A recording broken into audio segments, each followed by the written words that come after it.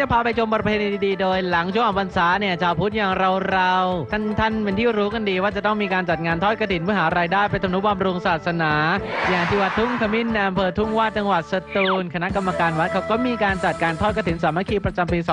2557 ขึ้นเพื่อนำจตุปัจจัยที่ได้ไปก่อสร้างอาคารห้องน้ำภายในวัดที่ขาให้บริการประชาชนมาทำบุญ และกิจกรรมของพระภิกษุสงฆ์ทีเด็ดครับคุณผู้ชมทีเด็ดมันอยู่ตรงนี้แหละครับ ช่วงแห่กระบวนองค์พุ่มกระถินที่ประชาชนจำนวนมากเนี่ยนำมาถวายแก่วัดไป